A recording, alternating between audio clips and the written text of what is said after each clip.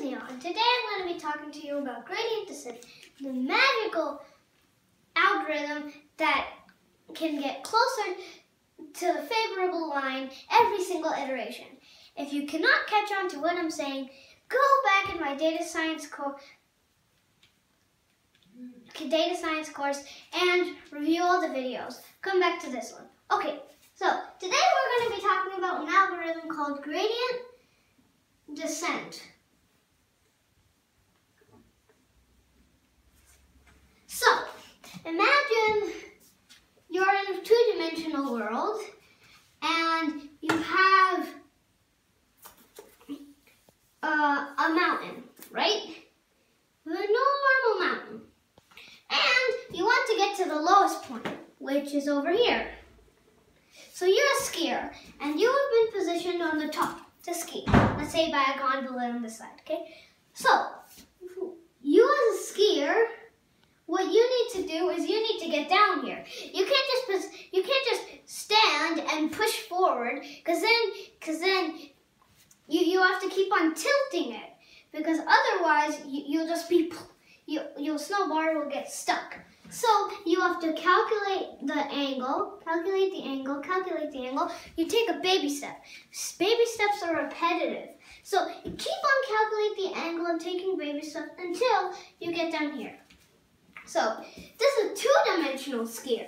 But if you add another dimension here, if you add another dimension, then let, let's see, say your mountain's like this, then you're, you're, ski, you're, you're skier over here, then you, you can move in, an, in infinite directions. You can move in all these, these directions.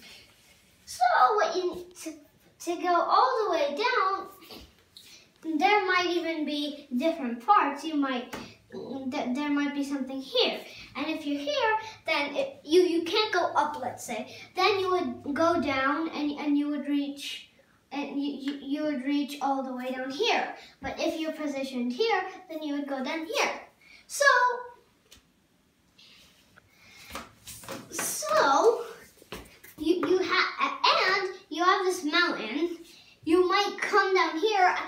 You want to, you need to calculate which is the best, which route takes you the steepest down. Let's say you're an expert and you just want to have the funnest, quickest thing down. So you can find the steepest. So your steepest might be this one at first, but then you might go this way and then this way and then this way. So you could end up anywhere because there might be a depression here, there might be a depression here, because this is three-dimensional. So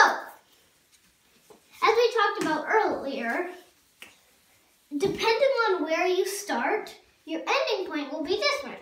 And that counts for a fact that gradient descent is partially is random, right? So it'll get you to a point where it will work, but it's not the best possible thing.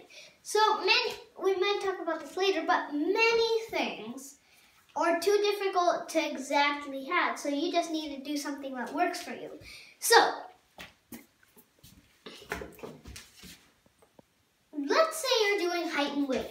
So weight would be a function of height. So you have A and B, which are two coefficients, which you set. So W would equal A times height plus B. A and B are different. Uh, this is assuming that if you have a graph and uh, you have a scatter plot and you're plotting only a line. This equation is only for a line, but you can have ever complicated equations for anything else. That will be for later. But if you have this, you need an error function that will you, you need an error function that will that, that will that will you have this and you, you have many lines one two three and you can find out which one's the best using your error equation by saying how far away the given height height point is for the, the weight point that you find out. So, as you should know if you've watched my course, then you the goal of data science is to find a an equation where the error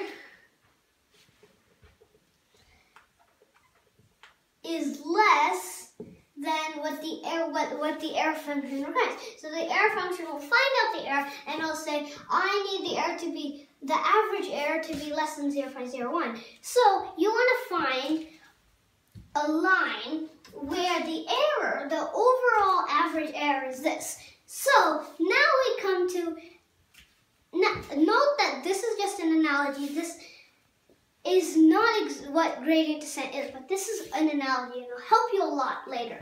So, you remember this three-dimensional graph we talked about later, um, earlier? So, you have a mountain, right?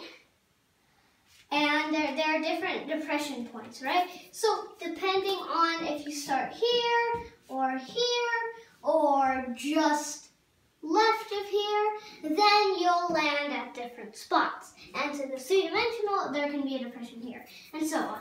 But now the thing is, what is this graph?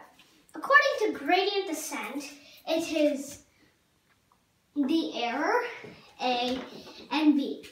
So you want to find the lowest point because the error is the, the, the, the z-axis.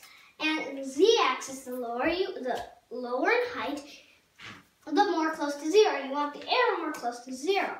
So that's why you, so, like in gradient descent, this is the ideal point. But you can even go here.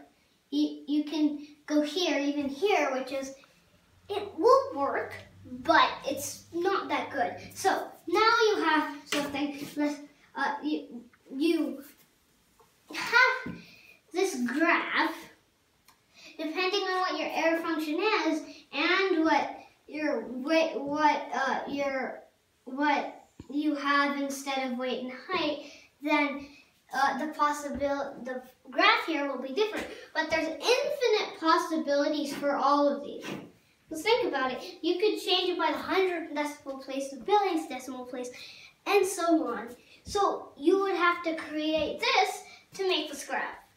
So this is an analogy about gradient descent that will help you a lot when, well, I when I teach you the real actual algorithm of gradient descent.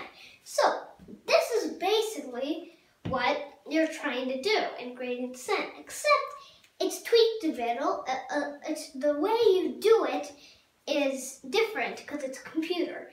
The computer doesn't have a brain. It only knows how to follow instructions. So my name is Neel Kumar, and make sure to continue watching my videos on data science. And there are many other topics. Bye.